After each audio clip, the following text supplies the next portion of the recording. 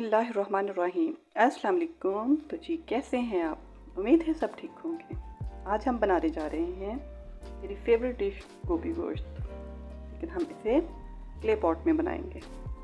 तो चलें स्टार्ट करते हैं। यहाँ पर मैंने घी में प्याज शामिल कर दिए हैं। अब हम इन्हें लाइट ब्राउन होने तक पकाएँगे।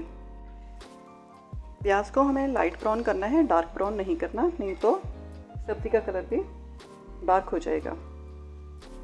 अब हम इसमें शामिल कर देंगे अदरक लहसुन का पेस्ट।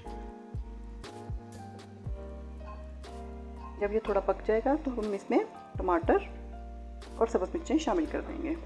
और अगर ये फिर क्ले पॉट में पकी हुई हो और हल्की आँच पर तो इसका टेस्ट और भी बढ़ जाता है।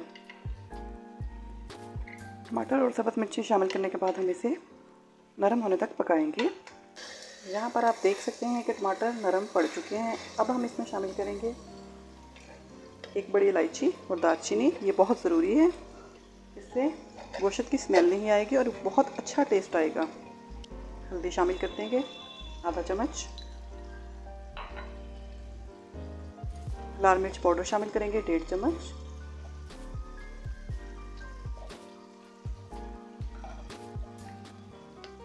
आधा चम्मच हम शामिल करेंगे कूटी हुई लाल मिर्च। इससे भी टेस्ट बहुत बढ़िया हो जाता है।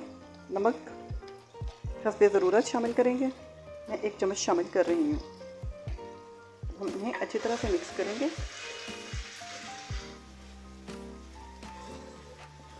थोड़ी देर हम इन मसालों को भूनेंगे। अच्छी तरह से मसालों की भुनाई के बाद अब हम इसमें शामिल कर देंगे चिकन। और हल्की आँच पर इसे अच्छी तरह से भुनाई करेंगे। याद रखिए, आप कोई भी मीट बना रहे हो, उसका फ्लेवर तभी उभर के आता है जब उसकी अच्छी तरह से भुनाई हुई हुई हो।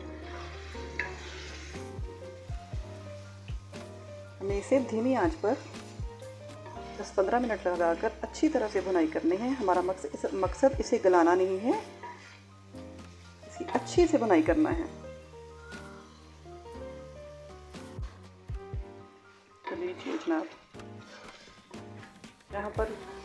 अच्छी तरह से फ्राई हो चुका है।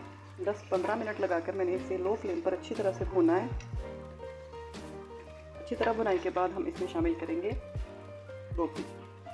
इसकी भुनाई के दौरान मैंने बर्तन भी धो लिए, बच्चों के लिए रोटियाँ भी बना ली। हम पाकिस्तानी औरतें एक काम करते हुए साथ बहुत से काम दूसरे भी निपटा लेती हैं। ये हमारा फ़न है कि हम हर फ़न में मोलना है।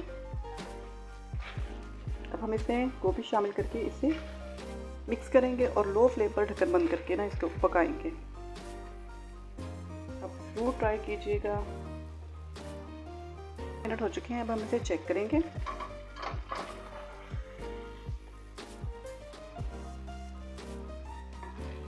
गोभी के गलने का प्रोसीजर शुरू हो चुका है। इस पॉइंट पर हम इसमें शामिल करेंगे। पिसी हुई काली मिर्च।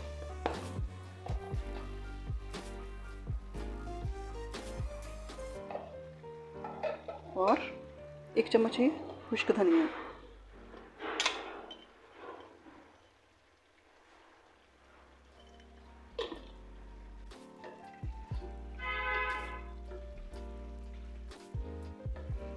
बर्तन तो मस्ट वाश है।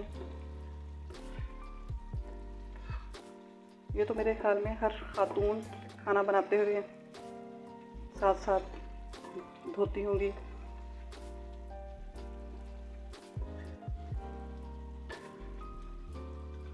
धोने वाले बर्तन तो घर में ख़त्म ही नहीं होते।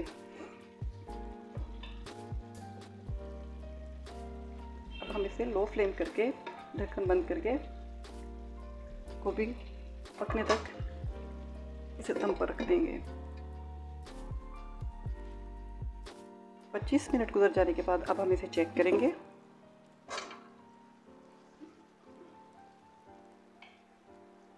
यहाँ पर आप देख सकते हैं गोभी अच्छी तरह से गल चुकी है, पक चुकी है। ये देखिए, इसने ऑयल छोड़ दिया है। अच्छी तरह से ये फ्राई भी हो चुकी है। मैंने इसे बिल्कुल लो फ्लेम पर पकने के लिए रख दिया था और ये आधे घंटे में, तकरीबन 25 मिनट, आधे घंटे में ये अच्छी तरह से तैयार हो चुकी है। अब हम इसमें आखिर में शामिल करेंगे गरम मसाला, एक चम्मच।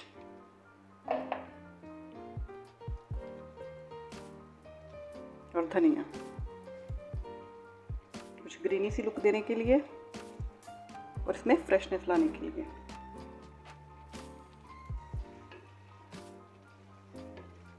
गोभी गोश्त हमारा तैयार हो चुका है। तो ज़रूर ट्राई कीजिए और मुझे बताइए और मेरे चैनल को सब्सक्राइब कर लें लाइक करें और मेरी रेसिपी को फॉलो करें।